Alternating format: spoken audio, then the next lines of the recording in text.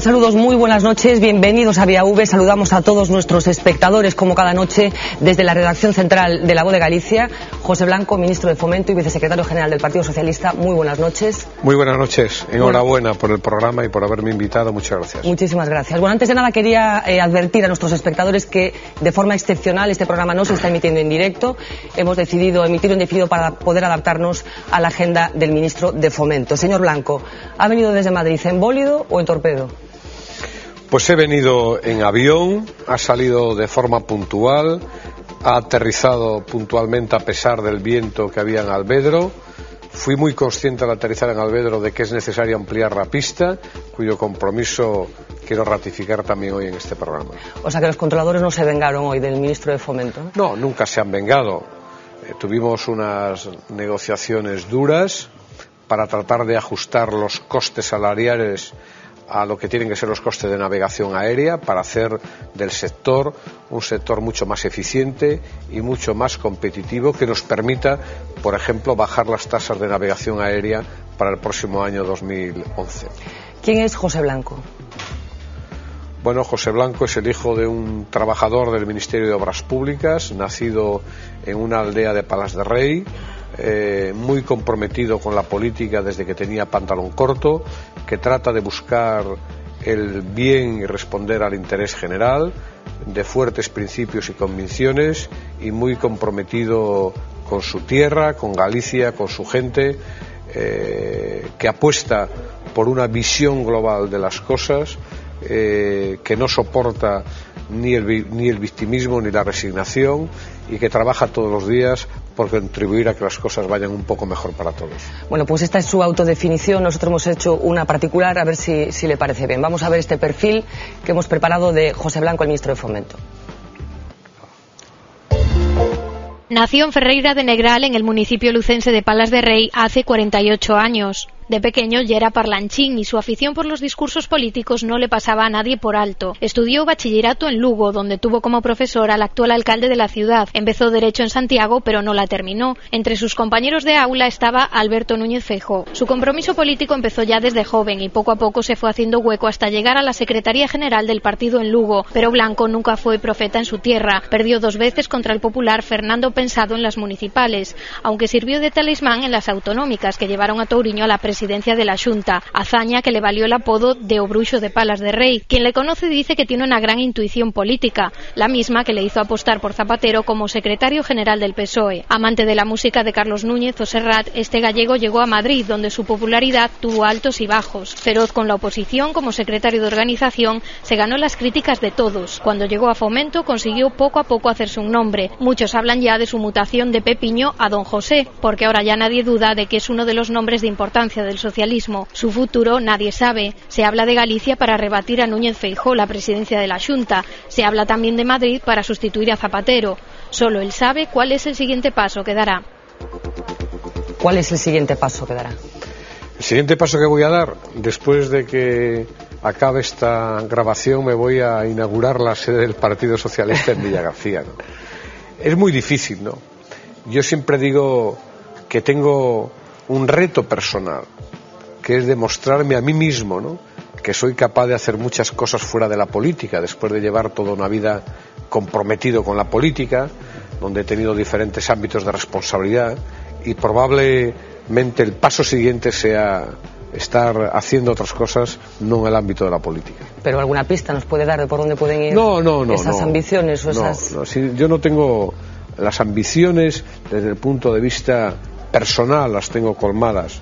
Lo más grande que le puede pasar a una persona que tiene vocación política, y yo la tengo desde que tenía pantalón corto, es llegar a ser miembro del gobierno de España. Por lo tanto, estoy absolutamente reconocido a quien me posibilitó poder ejercer esta tarea, al presidente del gobierno Rodríguez Zapatero. Le estoy eternamente agradecido y, en este sentido, mi ambición personal está plenamente satisfecha. ¿Y no le gustaría ser presidente de la Junta, por ejemplo? Mire, no me gusta eh, eh, decir que no me gustaría ser presidente de la Junta, porque ser presidente de la Junta es algo muy interesante, muy noble eh, para una persona que quiere que su país, su tierra, tenga una oportunidad mayor de la que tiene, que quiere vencer la resignación que está instalada en la sociedad gallega por ambición y por ganas de futuro, pero no forma parte de mis deseos personales. Por lo tanto, en abstracto, pues a un político pues sí que le, puede apetecer ser presidente de su país, de su tierra, pero reitero, no, no, no forma parte de esa ambición eh, personal y por lo tanto eh, no, no, no, no forma parte de esa agenda y además el Partido Socialista ha emprendido una etapa está liderando Pachi Vázquez, que es el secretario general de los socialistas gallegos, que él mismo ha manifestado, y yo desde luego le voy a apoyar para ello, eh, que después de las elecciones municipales y autonómicas se pueda proclamar como futuro candidato a la presidencia de la Junta. Desde luego va a tener mi respaldo. Eh, perdóneme que insista, dice que no forma parte de su ambición personal, pero si eh, políticamente al Partido Socialista eh, detecta y descubre, bueno, pues a través de sondeos demoscópicos, por ejemplo, que usted puede ser la persona para enfrentarse a Alberto Núñez Feijóo, ¿renunciaría a esa ambición personal, digamos, en favor de los intereses del partido y se presentaría como candidato? Bueno, yo soy una persona de partido y desde luego el interés del partido siempre prevalece por encima de cualquier otro interés, sobre todo porque yo tengo un caudal de gratitud hacia mi partido. Todo lo que soy, todo lo que puedo hacer, mi realización personal es fruto de mi actividad política. Por lo tanto, yo no tengo más que reconocimiento, agradecimiento para los compañeros que me han dado su caudal y su apoyo, que me han transmitido muchas energías, desde los compañeros de Lugo hasta los compañeros gallegos, los compañeros de toda España. Pero, insisto, el Partido Socialista ha emprendido un camino y ha tomado una, una decisión, ha marcado una hoja de ruta que yo creo que es la que mejor le conviene al Partido Socialista y en este sentido esa hoja de ruta va a tener un momento que es posterior a las elecciones municipales con la proclamación de Pachi como candidato. Por lo tanto, el partido no contempla esa opción y por lo tanto a mí no me gusta eh, especular con hipótesis que no están encima de la Pero esa proclamación será independientemente del resultado de esas municipales bueno, será independiente porque no tiene nada que ver una cosa con la otra. Yo soy de los que creo que en cada proceso electoral la gente responde a lo que se le pregunta. Y en las elecciones municipales la gente va a responder a quien considera que es el mejor alcalde para gobernar su ciudad. Y eso no tiene nada que ver ni con la política nacional ni con la política gallega. De hecho, aquí mismo en esta ciudad, en A Coruña, hemos tenido muy buen ejemplo de lo que les cuento. Eh, Paco Vázquez, que ha sido durante mucho tiempo alcalde, encabezó durante mucho tiempo la candidatura del Partido Socialista al Congreso de los Diputados y alcalde de la ciudad de La Coruña. Eh, como alcalde tenía mucho más respaldo que como candidato encabezando las listas al Congreso. Se presentaba por, la misma, por el mismo partido y era la misma persona. Por eso no tiene nada que ver un proceso electoral con otro proceso electoral. ¿Cuánta gente que mm, se refería a usted como Pepiño le llama ahora don José? No lo sé. Mire, eh, cuando en Madrid se instaló eh, la utilización de este diminutivo, mm, a mí en Galicia nunca me llamaron Pepiño, me llamaron Pepe, incluso me llamaron Blanquito, pero nunca Pepiño. ¿no? Esto fue una cosa eh, madrileña. De la Villa y Corte. De la Villa y Corte, pero lo hacían de forma despectiva, un poco hacia mi persona y algunos también hacia lo gallego y eso me producía una rebeldía interior. Se puede estar de acuerdo o no con lo que yo hago, se puede compartir o no, pero eh, utilizar ese diminutivo despectivo identificando mm, el, gallego que viene de pueblo, eh, que triunfa en la villa y corte, para tratar de descalificarme, bueno, no me sentaba bien, pero no me sentaba bien en el ámbito personal, ¿no? lo repudiaba eh, desde un aspecto mucho más colectivo. En todo caso, yo soy el mismo de siempre.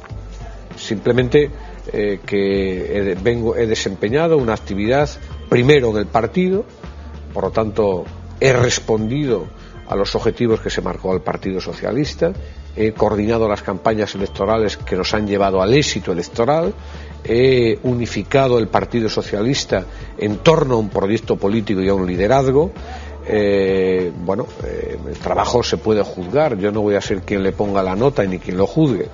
Y luego he asumido la responsabilidad como miembro del Gobierno de España y también se juzgará mi trabajo cuando eh, eh, abandone esa responsabilidad, pero sigo siendo el mismo.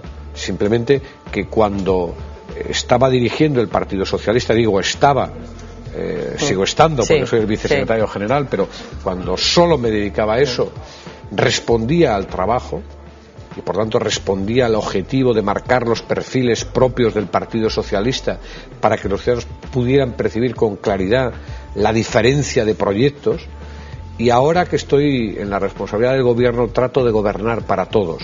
Me da igual eh, quién sea mi interlocutor. Nunca le pregunto por su RH ni, su por, ni le pregunto eh, por el color político eh, que representa cuando tengo que hablar con él. Simplemente busco el acuerdo, el entendimiento, el interés general, porque es lo que creo que debe prevalecer en un gobernante. En este sentido, eh, pues bueno, yo agradezco, ¿no? que la gente vea ahora en mí lo que ha visto hace dos o tres años. Simplemente lo único que quiero remarcar es que soy el mismo. Las aducciones, porque supongo que se habrán multiplicado los aduladores. Procuro eh, hacer todo. Eh, creo que más importante del político es no perder saber que uno está en tiene una responsabilidad de forma coyuntural eh, y eh, que cuando abandone la responsabilidad las cosas ya no se como ya los si no se puede llevar chascos y decisiones siempre lo que tiene que hacer un gobernante es tener una hoja de, de conducta intachable responder al general y tratar de gobernar para todos, sin instituciones, sean económicas, gente De a nadie más y prefiero que me reconozcan bajo, eh, todo ese clima que un clima de desprecio eh, simplemente por desconocimiento en muchos casos. Conocen bien el Partido Socialista, está ahora en el gobierno, estoy como bueno, está muy mal porque ahí estás junto con la economía globalizada una situación de extrema dificultad. Y por tanto todos los gobiernos del mundo y, y España no es una excepción, eh, pues tiene que tomar decisiones prestan en, un momento de gran incertidumbre y pues al Partido Socialista. Ellos se lleguen de la verdad, los ciudadanos sabrán diferenciar quién estuvo a las circunstancias, quién se ha comprometido con su país a afrontar eh, los problemas que tenemos y quién ha sido capaz de humar, de el hombro. En este sentido, seguro eh, que el Partido Socialista sabrá oponer a otros momentos. Yo recuerdo cuando tuvimos que hacer la reconversión industrial o las grandes reformas para garantizar el estado del bienestar en los años 80, también hubo Zobra, hubo viajes y al final el Partido Socialista se de todo eso, volvió a ganar la tener la concreta esta que les ha costado de una forma directa pilotar, digamos, es, sí, es un momento, un momento difícil momento difícil. ¿Ya tengo ganas de tirar la toalla en algún momento? No, no, al revés, creo ante la adversidad. La gente no me ha elegido como diputado, como dije, el Partido Socialista, para que en momentos de dificultad eh, arrojáramos la toalla, sino para afrontar los problemas. Es verdad que mm, frente a los problemas hay dos actitudes, tratar de combatirlos, afrontarlos o cruzar de brazos. Yo de luego soy los con los brazos heridos, hago el trabajo de ideas, hacen otros, y al revés, me siento muy estimulado para responder a los grandes desafíos. Algunos tengo el Ministerio de Fomento y trato de responder con decisión, con opción, con alternativas, simplemente para exigir que restrictiva y la modernización del país no se paralice. Si las cosas van mal en Cataluña, en alucinas municipales, ¿Faro debe volver a ser el candidato a presidente con...? Gracias por de, de que conducido. Mire, esa decisión es una decisión para poder llevar la lista a un sitio esperado en el año 2004 y previamente en el año 2003 a tener el mejor resultado en términos de apoyo a elecciones municipales, elecciones autonómicas, nunca socialista. Gobernado, gobierno, y no hecho nunca. Y eso sucede bajo Tanto es un activo eh, del Partido Socialista. Y, será él el que tenga que tomar la decisión, y solo él, pero si él toma la decisión de volver a presentarse, contará desde luego con el apoyo de todos inequívocamente y apoyo con compromiso con mi trabajo para volver a ganar en las elecciones del año 2012. Por lo tanto, no me voy a posicionar sobre una decisión que le corresponde tomar a él, más allá del deseo de que vuelva a la realidad en el año 2012. Y usted que lo conoce, que ya eh, acompañando desde, el principio, eh, ¿cómo está el presidente del gobierno? ¿Está acusando bueno, los embates eh, que está sufriendo en los últimos meses? Bueno, eh, está prisionero de un ataque de responsabilidad, de responsabilidad que se manifiesta sobre todo por protección, que han diseñado estrategia de cuanto peor le vaya a España, mejor les puede ir a ellos. Él asume la responsabilidad como gobernante, pensando y diciendo todos los días lo importante es el futuro de España y de su futuro personal. En ese sentido, su determinación para mí eh, es muy encomiable. Trata de responder a los desafíos que tiene España, dando reformas que necesitáis, desde la reforma del bancario hasta la reforma hasta la reforma que hace ahora en relación con nuestro sistema de pensiones, todas estas reformas que algunos critican, volverá a suceder lo que sucedió en los años 80, que las reformas que hicimos los socialistas en los años 80, garantizar las acciones, garantizar la, la cobertura de nuestro modelo de bienestar en en materia sanitaria, en materia de reconversión industrial, aquellas reformas que en aquel contexto tanto se rechazaron, los mismos que las rechazaron en aquellos momentos, ahora las ponen en valor. Hacemos lo que tenemos que hacer para generar confianza, económica, volver a crear empleo, y desde luego no se crea empleo con los brazos caídos. No es posible que hayamos asistido a una convocatoria de huelga general en contra de la reforma laboral, como si estuviésemos todos gobierno con una laboral que sale cuatro años de parados.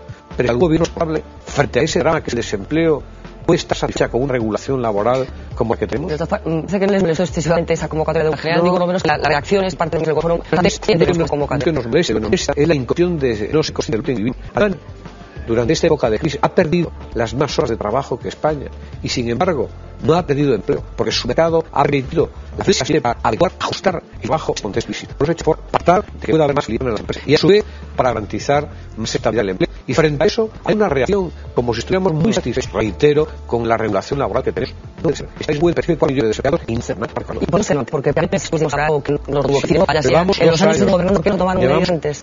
Llevamos dos años eh, negociando la reforma del trabajo y no es posible llegar a acuerdos. Es que nuestra economía es periodo económica que es que no europea. Pero el 6 con Zapatero, España ha ido más elevado. Pero el artificial, sustentó, sustentó por inmobiliaria, pero se ha pensar que sin esos proceder de la buena eran estructurales y no virtuales, con el déficit que ahora presenta. Todo el sumido. Eh, da igual que por los etcétera, que los ingresos antes de la burbuja eran ingresos para siempre. Y al final no se adaptó nuestro, nuestra política de gastos a unos ingresos que eran sencillamente ingresos coyunturales. Pues había eh, un crecimiento tan enorme del empleo. La gente pensaba que eso era para siempre. Y, no fuimos conscientes, nadie fue consciente de la necesidad de hacer reformas para que en momentos de crecimiento más eh, eh, poner un mercado ahora más y que pudiera formar el situación. Pero, pero no se ha hecho esto ahora, ni se hizo en, otros años de crecimiento, en los años 2002, 2003, 2004. Eh, bueno, pues eh, el político, ¿verdad? Llevamos años, pero no fue posible. Y acuerdo que hubo planteamientos muy movilistas tanto por parte de los empresarios como por parte de los representantes de los trabajadores, todos tenían posiciones muy eh, con anterioridad y soy el gobierno que la posibilidad por dar por una velocidad en el positivo. Bueno, hablaba desde la, de la actitud que ha mantenido el principal para la oposición con esto de crisis. Usted comparte usted una voz de su propio partido, una voz que escuchamos estos días, corresponde al presidente Decía La Mancha. Dijo tenemos si no de. Yo el otro día en una reunión dije o cambiamos de rumbo o acabaremos al lugar que nos dijimos. Y lugar que dijimos de carácter electoral. No habíamos bueno, habla de José Ariela, presidente de Macha, del Partido Socialista. Eh, si no cambiamos de rumbo, nos eh, eh, conducimos, nos llegaremos a una catástrofe electoral. ¿Qué va a hacer el ministro de Fomento de esta profesión? No es no bueno, yo veré que sí, que cuál es el rumbo, que, no le he echado ninguna alternativa a la que estamos haciendo, que es el cambio de rumbo. Me imagino que se referirá a eso. En todo caso, el rumbo es el rumbo de las reformas que necesita la economía para, volver a empleo. Y el gobierno, su futuro al español. Desde luego, lo que no vamos a hacer por un interés electoral es no tomar medidas que supongan hipotecar el futuro de nuestro país. Esa es la población que tiene un gobernante. Yo entiendo que algunos están eh, pensando nosotros cuando tomamos decisiones estamos dando el futuro de las próximas generaciones. Podríamos ahora mismo tomar alguna decisión por ejemplo, en relación con el presupuesto para el próximo año. Veremos las decisiones que son importantes para garantizar el futuro de próximas generaciones. Había que recordar esto, eh, información y más demasiado, no hacerlo. Y en el presupuesto del próximo año se va a incrementar el en becas, porque formalmente de ahora estamos contribuyendo al futuro de nuestro país. Igual sin más.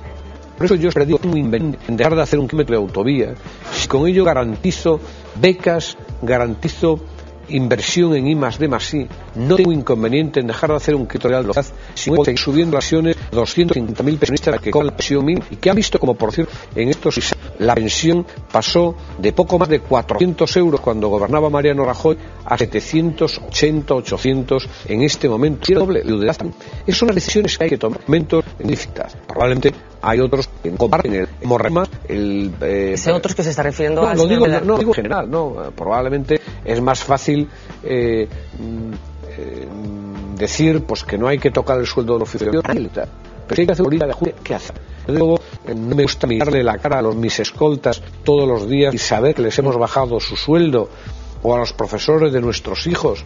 Pero si queremos reducir el gasto público, lo que no podemos es la boca esta del Partido Popular, consiste en algo, pues el señor Joy al apóstol Santiago, que dentro de poco lo veremos abrazado a la Virgen de Lourdes, porque solo un milagro puede hacer posible que podamos reducir el gasto público, eh, no, reducir los ingresos del Estado, aumentar el gasto público y a su vez mantener el objetivo de déficit. Solo lo puede hacer un milagro pero los milagros no existen. Y por tanto hay que tomar decisiones y eso es lo que está haciendo responsablemente el gobierno de España. que insiste del probablemente uno de los más no ha sido único en cuestionar algunas cosas, la gestión que está haciendo eh, desde el gobierno. En caso, ¿cómo eh, se digiere dentro de la estructura el partido de declaraciones eh, de esta naturaleza?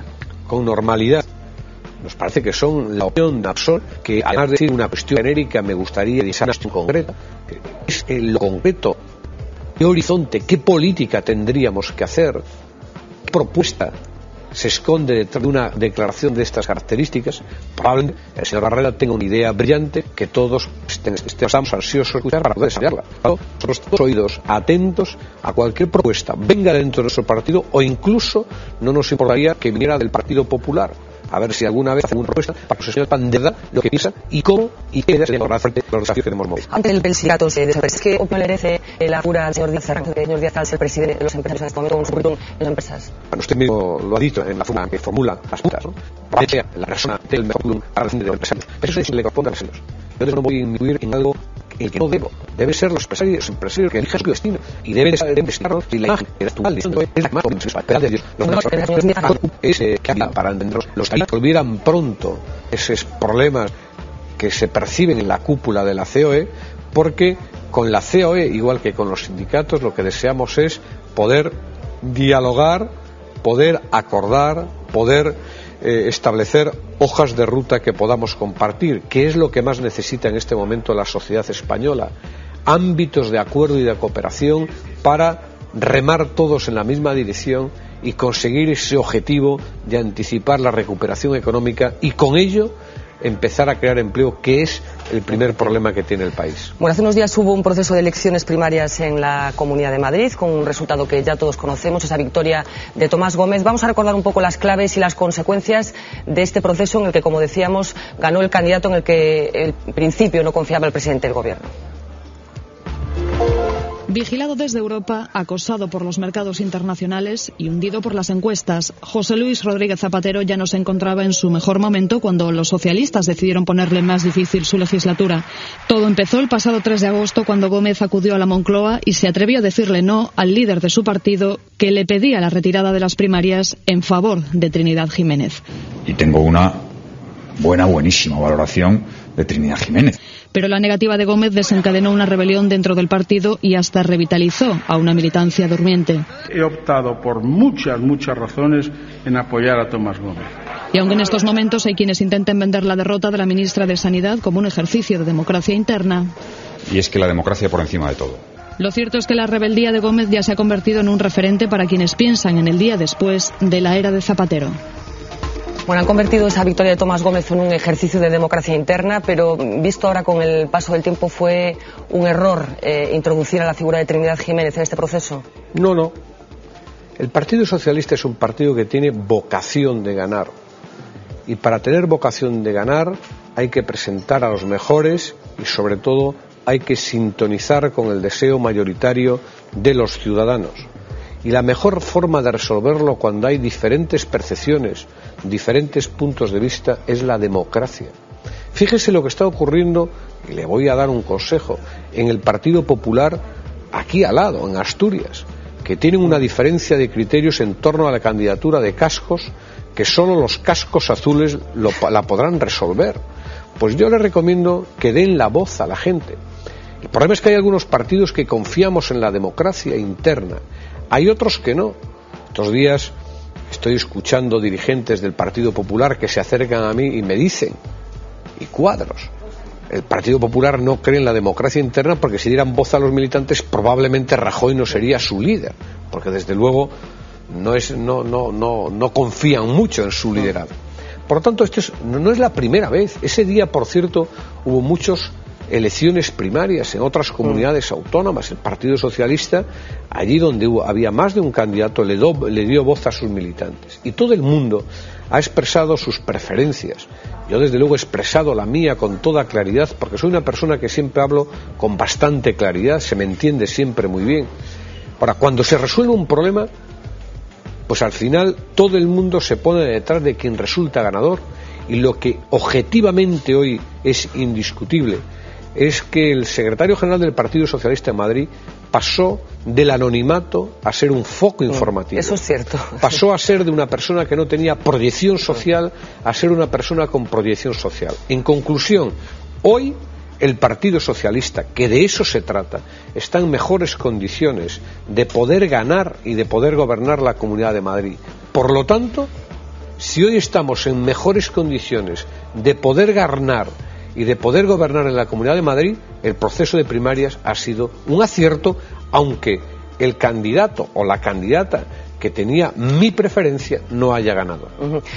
En cualquier caso, el proceso ha permitido escuchar algunas voces de algún eh, militante histórico, con una persona con responsabilidades en el pasado dentro del Ejecutivo, estoy hablando de Alfonso Guerra en concreto. Hay mucho jarrón chino dentro del Partido Socialista, me refiero a aquella expresión de Felipe Alfonso Guerra probablemente era el menos indicado para poder hablar de todo esto, porque simplemente cuando él tenía responsabilidades, el dedazo determinaba.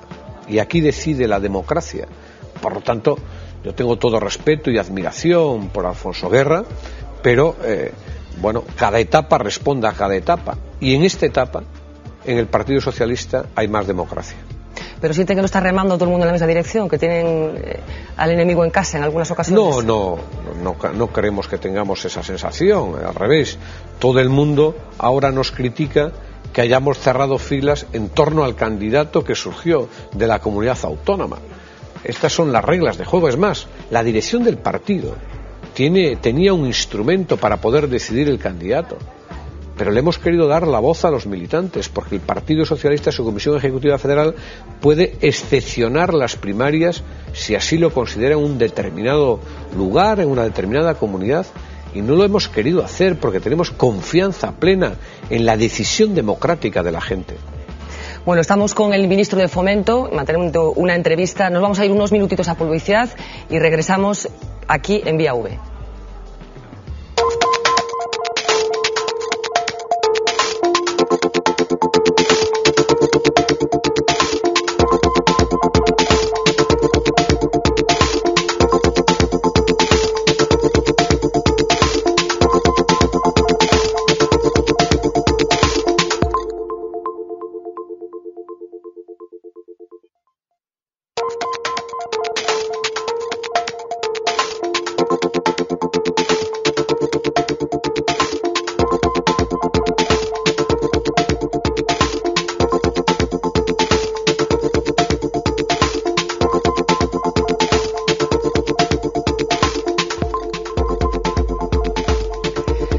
ustedes en Vía V esta noche con el ministro de Fomento y vicesecretario general del Partido Socialista, José Blanco. Se incorporan en estos momentos a nuestra mesa dos compañeros eh, de la voz de Galicia, Carlos Punzón, muy buenas noches. Buenas noches. Domingo San Pedro, muy buenas noches.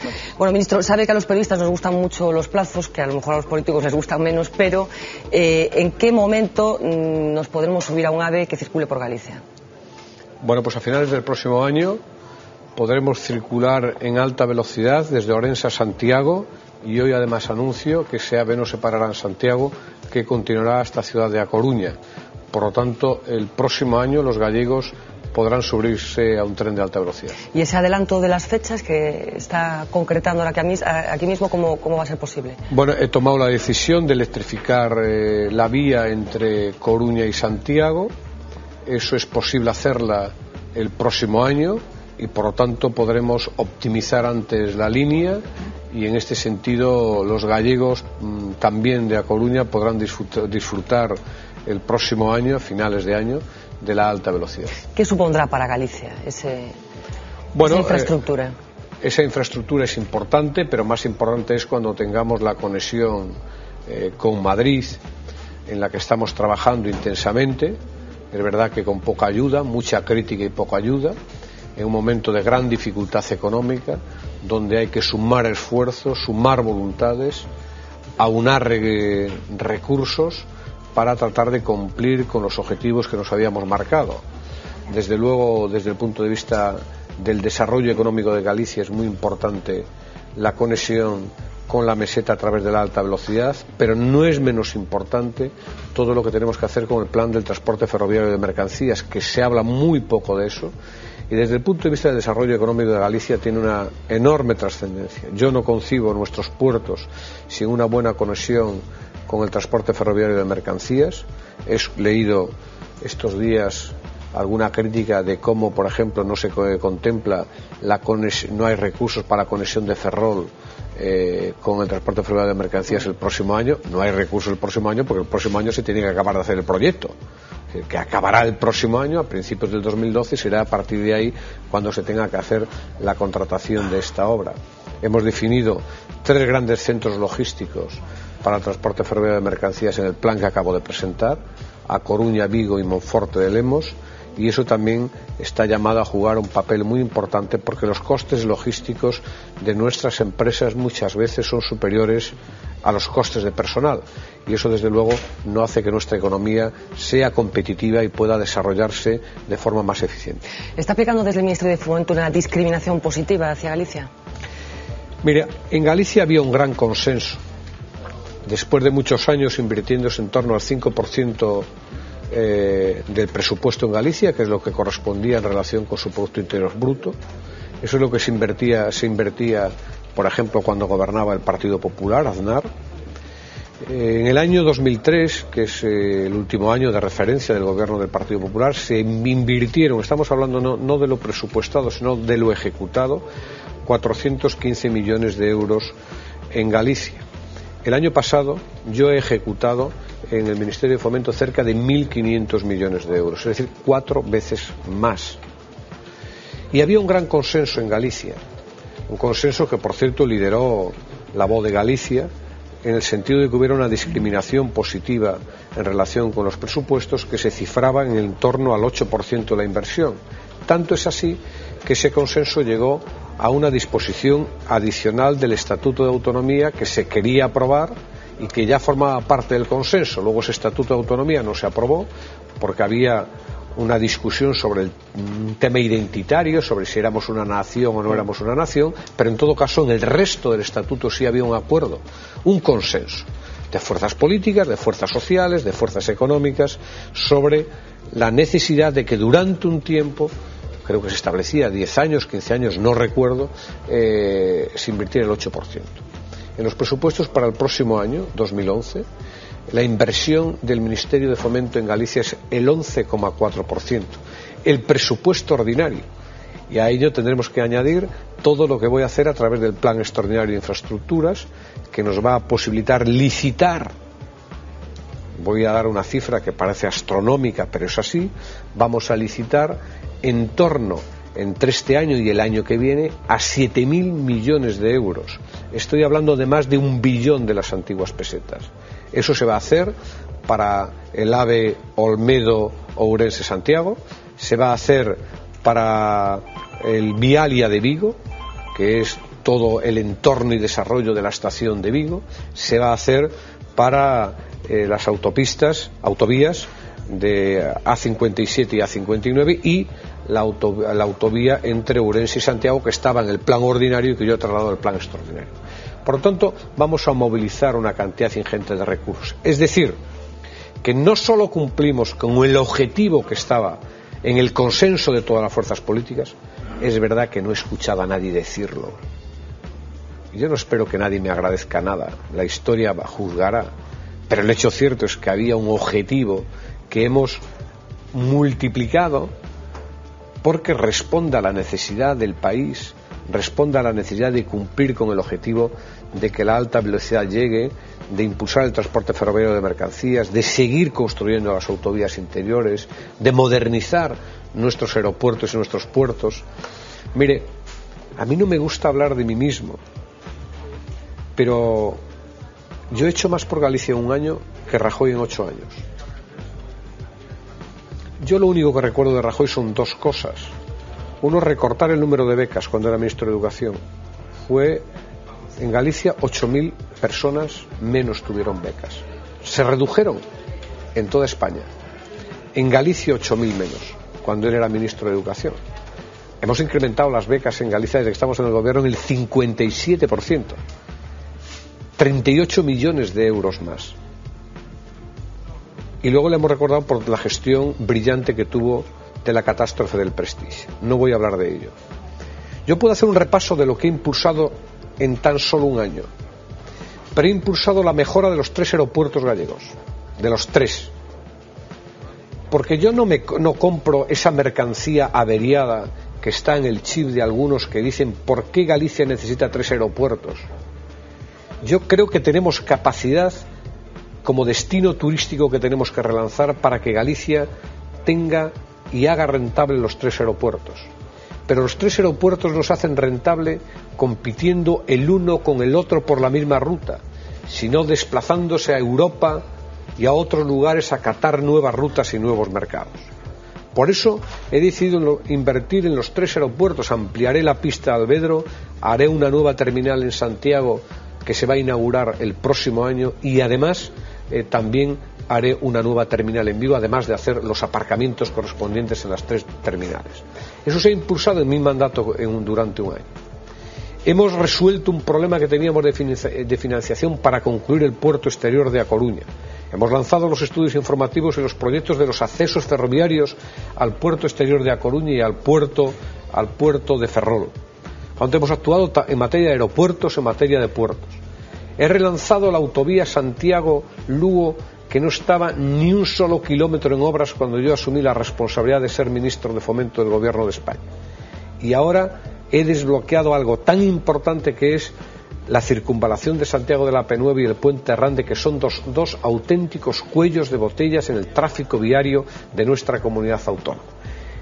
Y he dado un impulso definitivo que se va a consolidar y blindar, espero que lo pueda hacer, eh, para eh, garantizar definitivamente la llegada de la alta velocidad a Galicia. Alguien puede hacer más en menos tiempo, es probable, pero todavía no he encontrado quién pudiera hacer más en menos tiempo por el desarrollo de las infraestructuras en Galicia. Carlos. Sí, frente, frente a esa exposición que usted hace de, lo que ha hecho en el Ministerio, desde la Junta de Galicia el mensaje es todo lo contrario. Lo que en estos mismos días acaba de decir el presidente de la Junta, primero, es que ha puesto en marcha el cronómetro para ver si cumple o no con los plazos dados para el Pacto Logradoiro en segundo, en segundo término, dice que de lo que ustedes, eh, el, gobierno socialista, invirtió en Galicia desde 2004, se han dejado de invertir, de ejecutar 5.000 millones de euros. Y por último, en estos días eh, ha habido una cruce de cartas entre él y usted, donde parece que el reconocimiento o el entendimiento no es del todo adecuado. Yo reto al presidente de la Junta a discutir sobre cada una de las cifras y partidas a decirle a la cara que su gobierno en el año 2003 invirtió en Galicia 400 millones de euros, presupuesto liquidado y ejecutado de la Intervención General del Estado, y yo el año pasado invertí 1.500 millones de euros. Estoy dispuesto a decírselo a su cara y estoy dispuesto a desmontar cada una de las mentiras y groserías que le escucho estos días simplemente para tapar su incapacidad de gestión.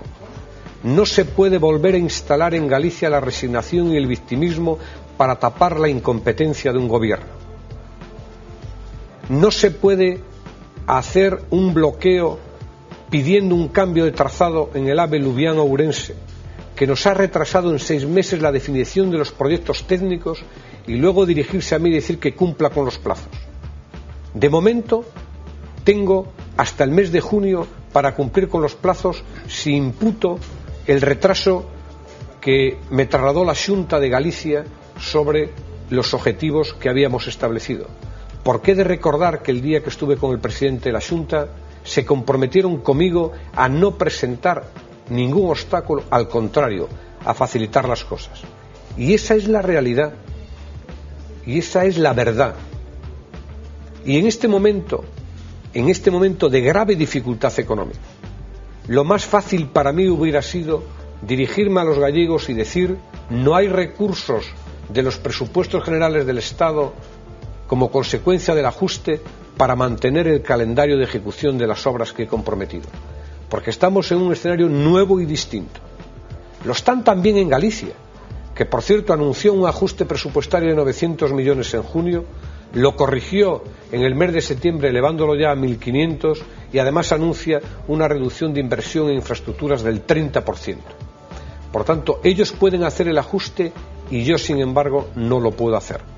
Es verdad que no lo voy a hacer, porque he definido una fórmula que me va a permitir no licitar en el plazo que he establecido 3.000 millones más para el AVE gallego. No, voy a hacer una licitación, escúcheseme bien, de cerca de 6.000 millones, el doble de lo que he comprometido con el presidente de la Junta. ¿Con qué objetivo?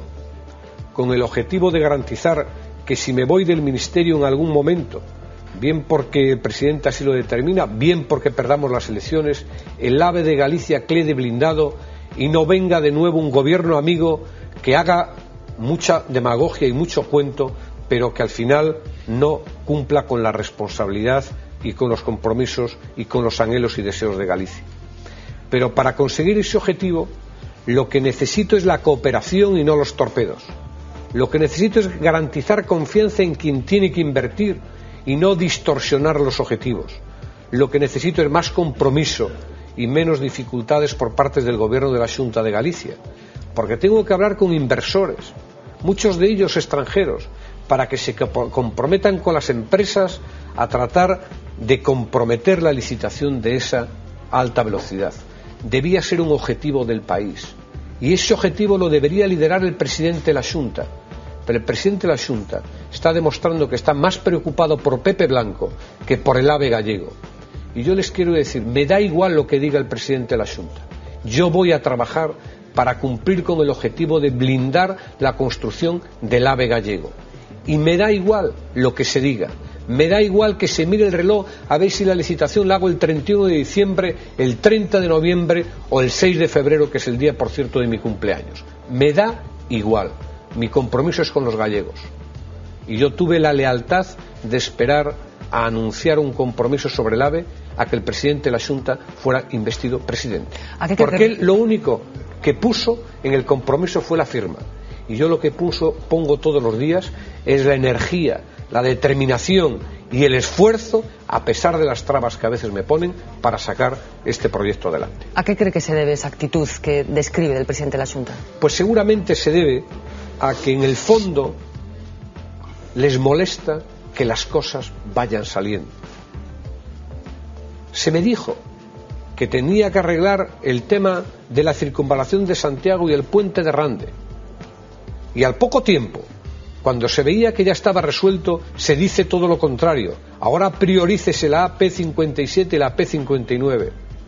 Yo soy serio y lo que quiero tener enfrente son interlocutores serios y no gente que cambia de criterio en la medida que se ve que se cumplen con los compromisos. Ya me gustaría a mí que todos los proyectos y todas las cosas estuvieran más avanzados. Ya me gustaría a mí que muchas autovías y muchos muchas infraestructuras se hubieran desarrollado. Ya me gustaría a mí que el gobierno de Aznar del Partido Popular invirtiera en Galicia el 11,4% que es lo que voy a invertir yo para el próximo año en lugar del, del 4% que invertía. Porque si hubieran hecho eso, no hubiera sido necesario de esta discriminación positiva. Que la hago no por ser gallego, la hago porque creo que responde a una verdadera necesidad de cohesionar y de vertebrar el país. Pero también la hago por otra cosa.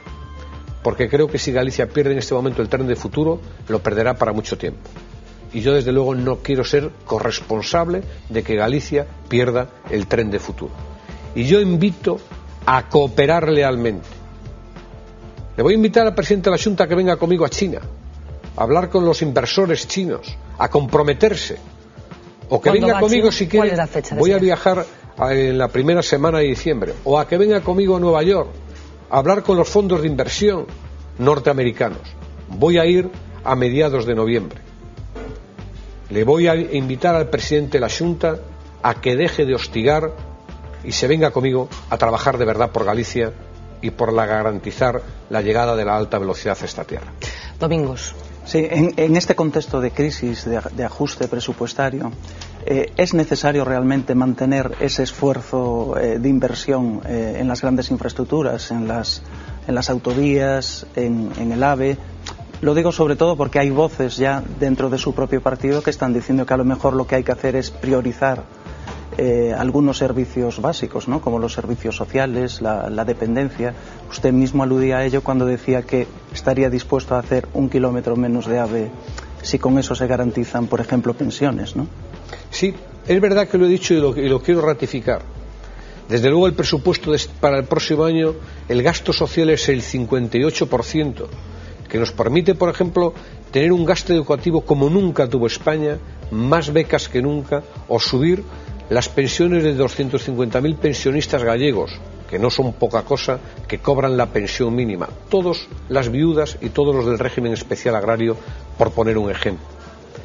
Pero eso hay que compatibilizarlo con cohesionar de verdad al país para que no haya en el país dos velocidades cuando tengamos la oportunidad de volver a crecer económicamente. Si ustedes siguen los debates en el Congreso de los Diputados, hay algunas fuerzas políticas, unas con mayor intensidad y otras con menos, pero la intención es la misma, que siempre plantean que hay que buscar la eficiencia en las inversiones, pensando solo en lo suyo y pensando poco en los demás. Mire, yo voy a hacer una apuesta durante, durante estos próximos seis meses.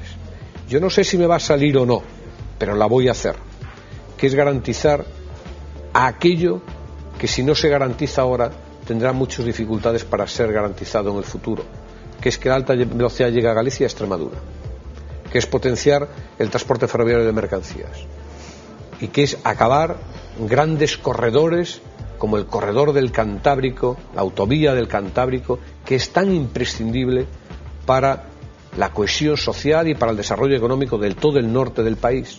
Son apuestas, a veces apuestas incomprensibles, ya le aseguro que el día en que saquemos a licitación por valor de 6.000 millones la CPP de Galicia, además de vencer resistencias externas, tendré que vencer también resistencias internas. Pero estoy dispuesto a hacerlo. Y a mí no habría nada más que me gustara que el presidente del gobierno de Galicia compartiera este objetivo y no pusiera ni una sola traba. Pero ¿qué supone un mes arriba, un mes abajo en un proyecto de esta envergadura estamos hablando de una licitación de más de un billón de pesetas. Algunos no, son conscientes de, probablemente de la dimensión de lo que hablamos. Pero me parece que aquí es donde se demuestra cuando hay interés de partido o cuando hay un interés general. Y yo desde luego voy a poner toda la carne en el asador. Y luego, esto no se resuelve con visivas, con cartitas. ¿Qué le parece esa carta que remitió el presidente de la Junta a Durao Barroso? Pues no me parece que sea la mejor forma de resolver un problema. Porque, ¿qué cree el presidente de la Junta? ¿Qué va a conseguir con eso? Porque si el gobierno de Portugal, que en este momento tiene un problema muy importante para salir de la crisis, eh, el gobierno de, de Portugal tiene que pagar tipos de interés ya altísimos tiene un diferencial con el bono alemán, eh, alemán de 400 puntos, el diferencial de España de 170. Imagínense la diferencia, que tiene unas enormes dificultades económicas. Pues tendrá que tomar aquellas decisiones que le permitan sacar adelante el país. Por cierto, haría bien el presidente de la Junta, en lugar de dirigirse al señor Barroso dirigirse a sus amigos los conservadores portugueses que son los que más están boicoteando al gobierno de Sócrates en la idea de desarrollar la alta velocidad. Pero imagínense por un momento que la Unión Europea diga que no acepta la reprogramación de los fondos europeos destinados a esta línea, al, tramo de eh, eh, Oporto Vigo. La parte de Vigo, perdón, la parte portuguesa estamos hablando de 300 millones de euros. No tengo la cifra en la cabeza pero en todo caso no mucho más. ¿Eso qué es? Es la séptima parte de lo que cuesta esa línea. Por lo tanto, si no tienen recursos, perderán los fondos europeos, pero no resuelven el problema. Por lo tanto, invito a que se haga menos demagogia y que se, de verdad se trabaje, se trabaje. Y en tiempos de crisis no se puede hacer todo simultáneamente. No todo es posible. Y como no todo es posible, la responsabilidad de los políticos no es engañar y confundir para meterle el dedo en el ojo al ministro de Fomento, que parece que es que le, yo me parece que soy de, yo creí que era poco importante, pero para el presidente de la Junta debo ser demasiado importante que lo único que hace es meterme el dedo, a ver si no me entero. Fíjese, desde que soy ministro, no antes. Autovía Lugo-Santiago. Dificultad en un tramo, el tramo de Palas de Rey a Arzúa, por un informe de impacto medioambiental negativo. Para retrasar, decir, no vaya a ser que la contrate pronto este, y al final así le podemos meter el dedo en el ojo a ver si no la contrata. Autovía P76, autovía 76, que es la de Ponferrada a Monforte, que estamos haciendo los estudios. Que por cierto, cuando fue el plan Galicia, mira que metieron de todo. Y esa ni siquiera la metieron. Esa ni siquiera estuvo en el plan Galicia. Yo la he introducido en el año 2005 en el plan estratégico de infraestructuras. También un informe negativo pidiéndome un cambio de trazado. Claro, luego alzamos la voz, fíjate que el informe ya no era tan negativo. Todo tuvo arreglo. Igual me hicieron con el tramo de Lubián a Orense. Es decir, todos son obstáculos para, para que las cosas se vayan dilatando. Y luego, exigencia. No es la forma. Yo he demostrado un principio de lealtad infinita. Les invito a todos mis actos públicos cuando pongo en marcha obras públicas. Hablan en los actos e incluso tienen la tribuna para criticarme delante de mis narices cuando pongo en marcha obras no creo que sea la forma más elegante de corresponder con una persona que lo único que quiere es que salgan las cosas adelante. Lo único que quiero. Por lo tanto, lo quiero expresarlo así porque eh, me parece que la- el principio de lealtad, el principio de lealtad no puede ser ajeno a la situación, al contexto, al momento y a la relación fluida. Y a la relación fluida. Yo, desde luego, no hubiera nada que me hubiera gustado más que tener una buena relación con el presidente de Galicia, sustentada en el principio de lealtad. Probablemente él y yo tengamos una concepción distinta de lo que es la lealtad. Carlos. Sí, siguiendo en esa línea, eh, la Junta de Galicia, no sé si no considera leal, pero sí es una herramienta, eh, anuncia que va a abrir caminos judiciales para intentar parar el decreto del carbón, eh, que se limita la producción o la utilización de carbón en Galicia y en las dos plantas que hay que utilizan carbón foráneo. También parece que va a querer llevar ese camino judicial para eh, tratar de obtener los fondos de cooperación que se prorrogan, se trasladan, se retrasan al 2012. Y luego hay una serie de críticas en, en esa misma bolsa